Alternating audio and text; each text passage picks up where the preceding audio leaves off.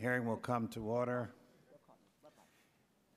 Let me um, apologize for uh, the lateness of the beginning of the hearing. We are going to actually have another vote in about 10 or 15 minutes. At, uh, however, uh, knowing the schedule of our of our witness, uh, we um, will proceed to hear his statement, and then uh, following his statement, we will adjourn for uh, a few minutes to have the rest of the testimony. So let me just welcome you, uh, Mr. Glover. It's always a pleasure to be with you. I will not take time to read your very outstanding uh, background.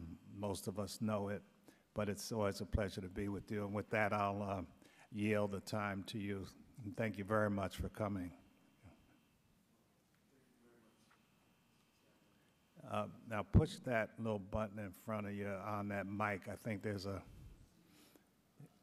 There we go. Thank you very much, Mr. Thank Chairman, you. and also Representatives uh, Watson and Representative Woolsey. Um, thank you for inviting me to speak on the highly important issue of vulture funds. I come today as the chairman of the board of Trans-Africa Forum to address an issue that is at the forefront of our work.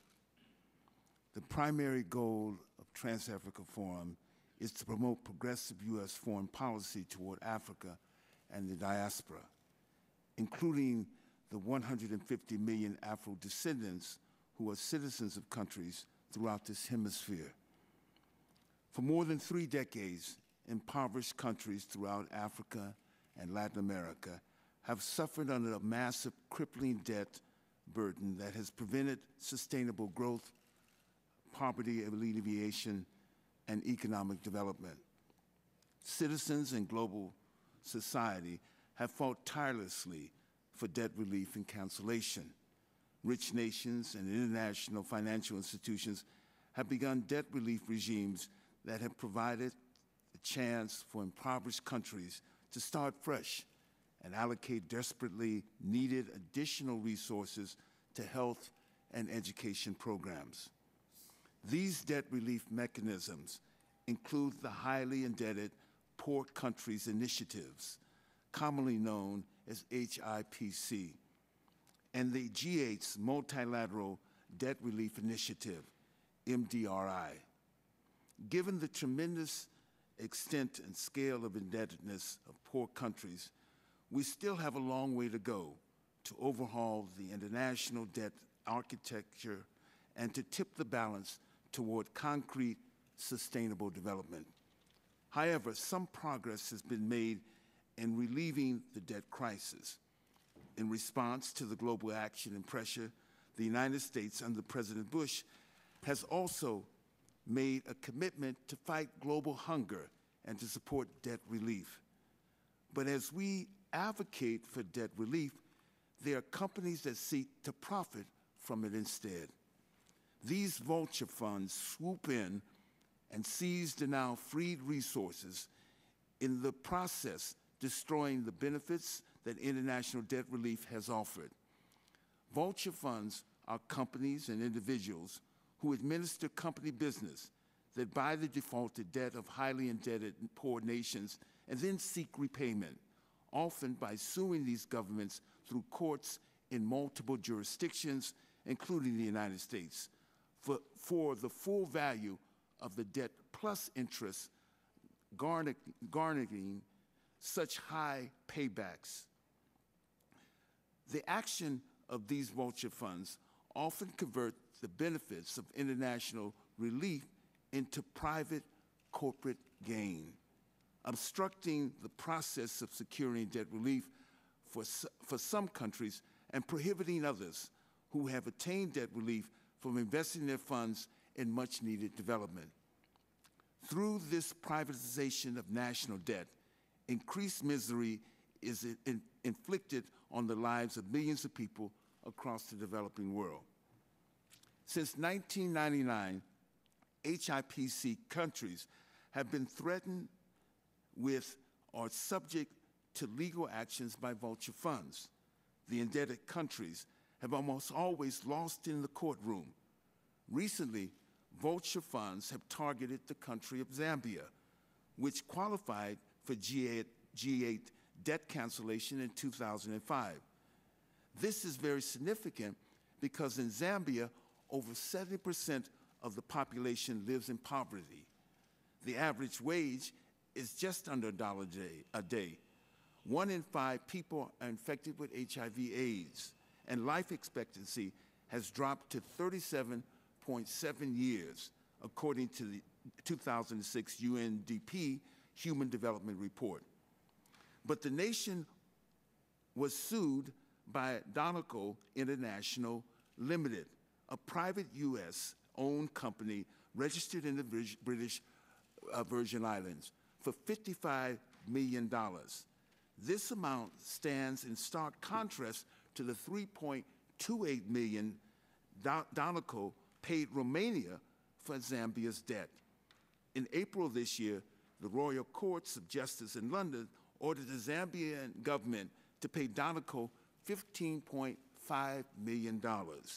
That means that Zambia will pay Donegal more than a third of what they received through the HIPC and the G8, G8 debt relief process this year.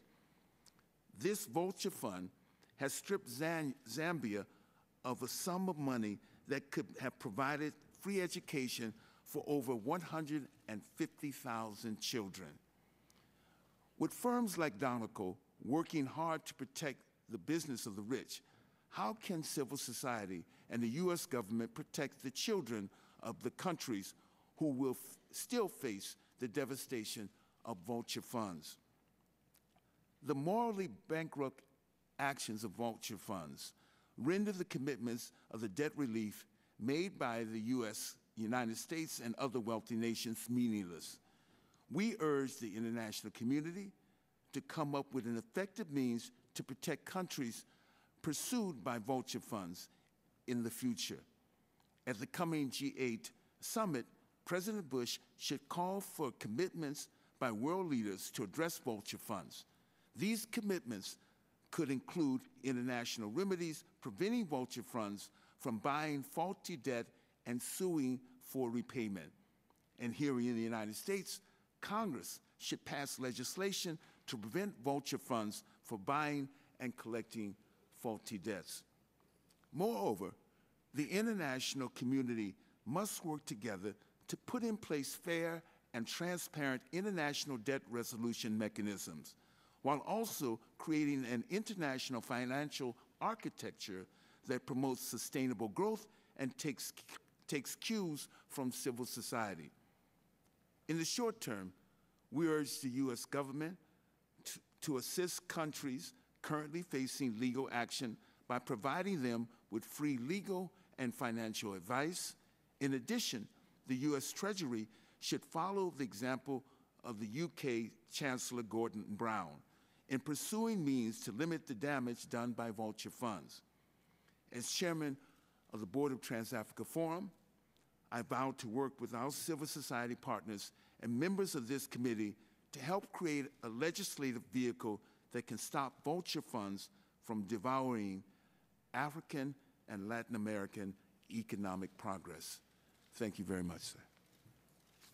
Well, let me um, thank you very much for uh, that powerful presentation, and we will look forward to working uh, with you and Trans-Africa and the other groups uh, that have a concern about this issue.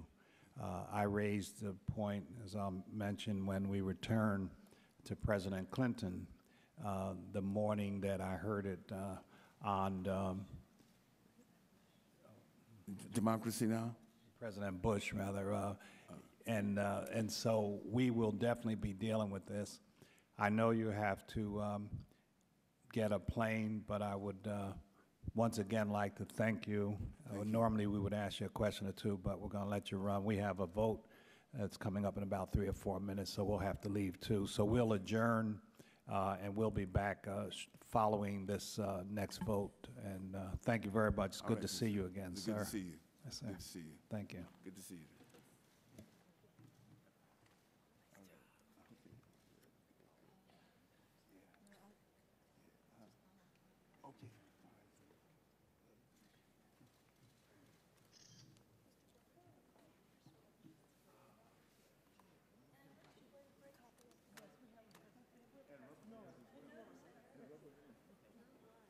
c'est, c'est, c'est,